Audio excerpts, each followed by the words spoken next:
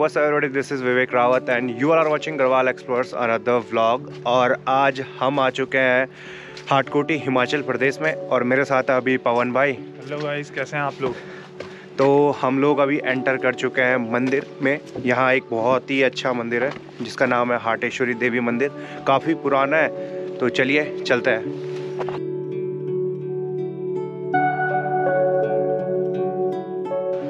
तो दोस्तों, अभी हम पहुँच चुके हैं मंदिर में। मेरे पीछे वो रहा कुछ मंदिर।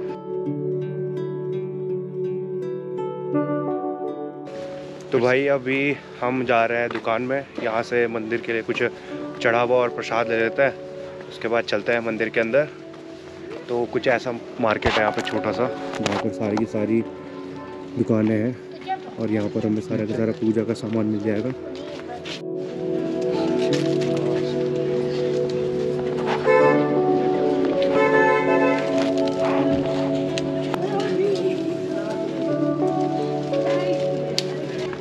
हमने प्रसाद ले लिया और हम जा रहे हैं मंदिर के लिए और ये रहा कुछ मंदिर का एंट्रेंस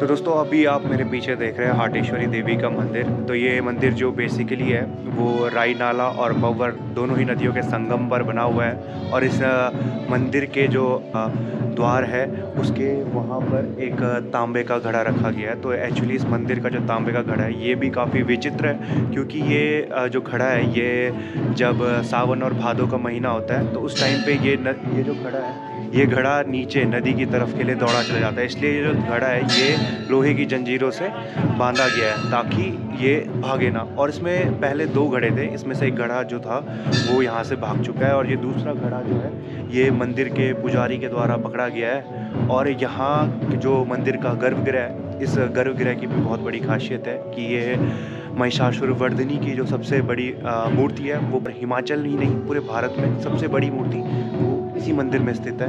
तो दोस्तों, चलिए चलते हैं, अब आप आपको दिखाते हैं आगे मंदिर का कुछ नज़ारा।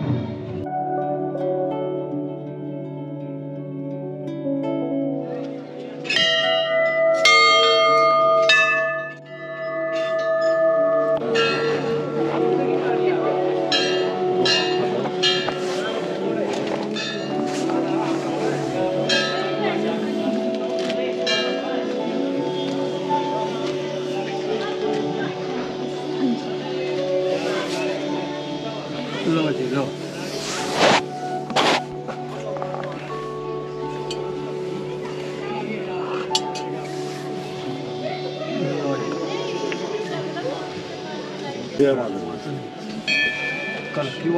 No, se no, se no, Ay, correcto.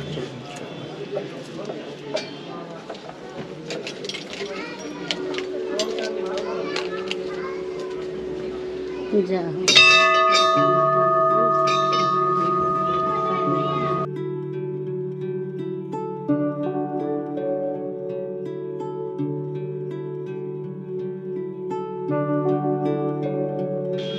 ये शिव मंदिर है यहाँ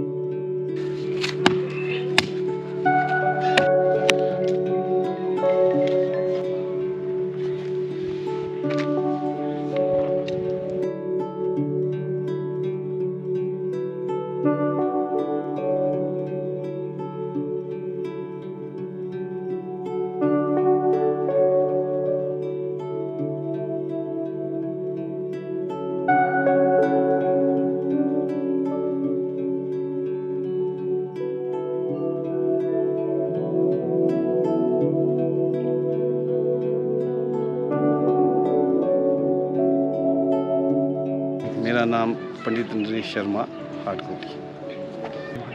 ये हाटेश्वरी माता मंदिर, हाटकोटी, शिमला ज़िले से शिमला ज़िले में स्थित है। शिमला से लगभग 100 किलोमीटर दूर ये हाटेश्वरी महिषासुर मर्दिनी माता रूप में साक्षात विराजमान है।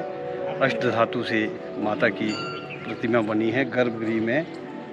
और ये जो हमारा हाटेश्वरी माता का मंदिर है कहते हैं कि ये पांडव कालीन पांडवों के समय बना है, जब पांडव यहाँ पे आपका अज्ञातवास में आए थे। यहाँ पर विराट, राजा विराट की नगरी थी तो उन्होंने ही शायद इसकी स्थापना की होगी।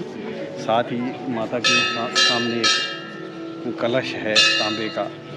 इसको कहा जाता है कि ये भीम का द्वारा स्थापित किया गया है, भीम का कलश है। भीम इस पे अपने खान पान की सामग्री रखते थे।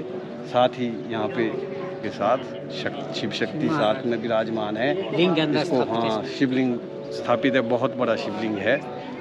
तो लोग बड़े दूर दूर से यहाँ पर श्रद्धा से आते हैं और माता हाटेश्वरी का आशीर्वाद पाकर लोग प्रसन्न रहते हैं।